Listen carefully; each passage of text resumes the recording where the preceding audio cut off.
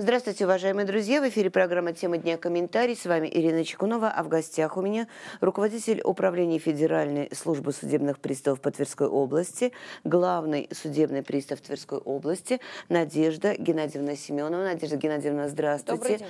А, вступила в свои права лето которое по традиции начинается Международным днем защиты ребенка.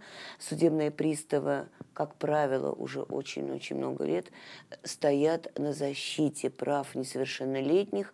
И, в частности, это ваша прямая обязанность, да, угу. алиментные выплаты, которых меньше, наверное, не становится. Ну, пока в общем объеме, да, мы не можем, конечно же, сказать, что вот э, победили, да, и там уменьшилось количество исполнительных производств. Ну, в течение года оно варьируется, но э, скажу, хочу сказать, что есть положительная динамика определенная в том, что у нас увеличивается ежегодное количество должников, которые приступают к уплате алиментов, э, увеличивается те, э, то количество судебных судебных решений, по которым должники в полном объеме платят, да, и в принципе уже наше вмешательство не нужно да, в этот процесс, потому что ежемесячно денежные средства удерживаются из заработной платы. А, да, пока что еще общее количество поступающих документов, оно э, не такое маленькое. А да? общий долг? Если ну, говорить общий, о деньгах. общий долг пока он остается прежним, да, это порядка двух миллиардов рублей, но мы в этой студии уже тоже несколько раз объясняли, да, из чего складывается. Просто это достаточно большая Очень крупная сумма, сумма. да. Это связано с тем, что при отсутствии дохода у должника, да, его задолженность по алиментам рассчитывается из среднестатистической заработной платы по Российской Федерации. На сегодняшний день она уже велика, это почти 57 тысяч рублей, поэтому можно вот э, простыми арифметическими расчетами понять, сколько будет 25%, 33%, да, либо 50%. Поэтому, конечно же, вот э, сумма задолженности, она вот состоит из таких вот крупных достаточно сумм, да, Э, вот, и э, пока что, да, у нас в течение года она снижается с учетом э, тех мер, которые мы предпринимаем, да, но с учетом вновь поступающих исполнительных документов, да, в течение года вот у нас это, ну, скажем так, кривая, да, чуть-чуть уменьшается, чуть-чуть увеличивается, ну, средние объемы остаются такими. Но это ваша постоянная работа, то есть это каждый да. день, это не зависит абсолютно. от акций, от каких-то декад и месячников? Нет, абсолютно ни от чего, потому что каждый день, да, э, там наступает у того или иного, да, крайний день месяца, когда мы понимаем, что здесь должна пройти проплата. То есть это постоянный контроль, это постоянные проверки работодателей, где производят, производится удержание, постоянные а, взаимодействия с центрами занятости, да, куда а, мы выдаем направление. Это постоянная работа и с, с УФСИНом, да, там, где у нас уже есть осужденные, угу. да, и они обязаны к трудоустройству, то есть мы тоже взаимодействуем с уголовно-исполнительным инспекцией, да, это постоянная, ежедневная, абсолютно вот не имеющая там ни выходных э, работа. Если человек платит э, 250-300 рублей в месяц, хотя он должен платить 15-20 тысяч, и он говорит, я каждый месяц плачу, это значит, что я э, не должник по элементам, вот, я же выплачиваю. Да, это считается? Вот, вот э, очень хороший вопрос, потому что вот до, э, скажем так, Э, началу 2022 года, да, действительно, эта ситуация могла как-то приниматься во внимание.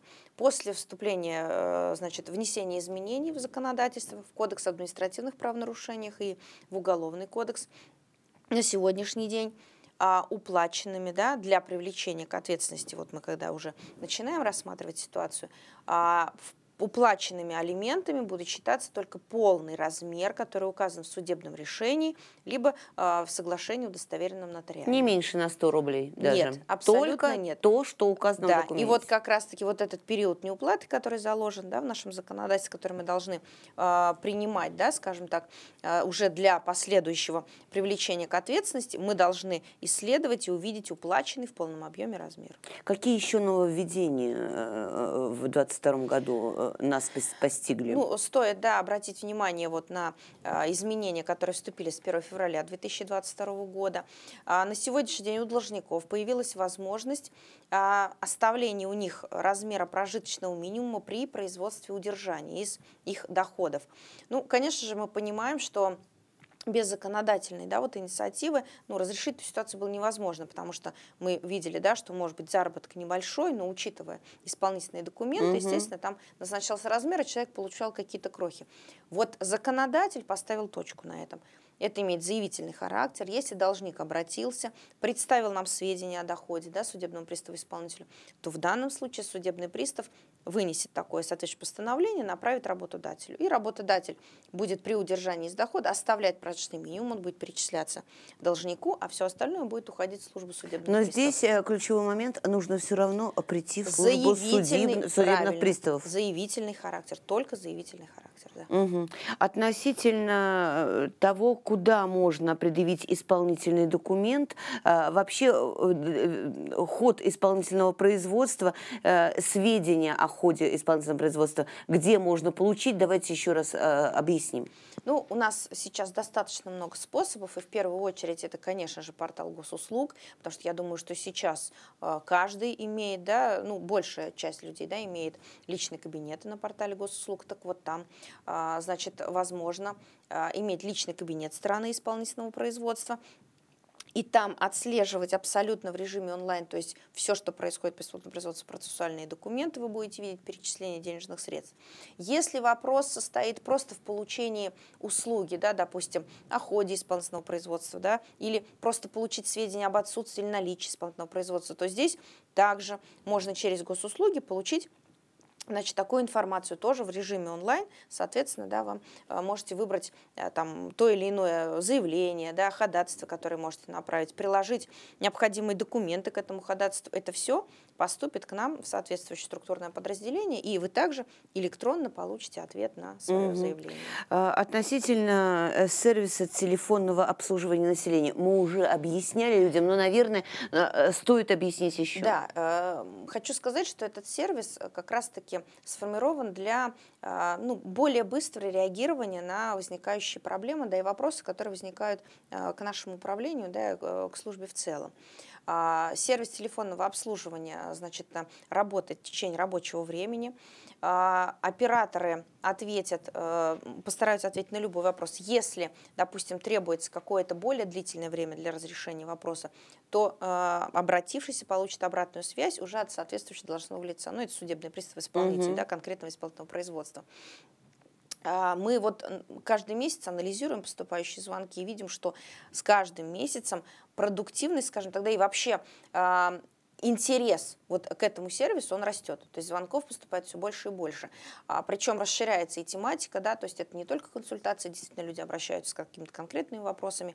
Вот, и мы всегда стараемся а, проверить, случилась ли обратная связь, нет ли у нас, да, вот где-то провала какого-то. Ну вот пока такой контроль будем продолжать. А мы уже много лет общаемся с вами, и я думаю, что за эти годы люди как-то перестали бояться службы судебных приставов, видят, что у этой службы человеческое лицо, что они, что называется, вникают в ситуацию, да? А, ну, да, конечно, никогда не нужно прятаться, да, бояться. То есть, если все-таки, да, вы по каким, как-то узнали на госуслугах, допустим, увидели у себя какое-то начисление, да, видите, что у вас там возник долг, обязательно а, посмотрите, да, что за долг, свяжитесь с судебным приставом, исполнителем.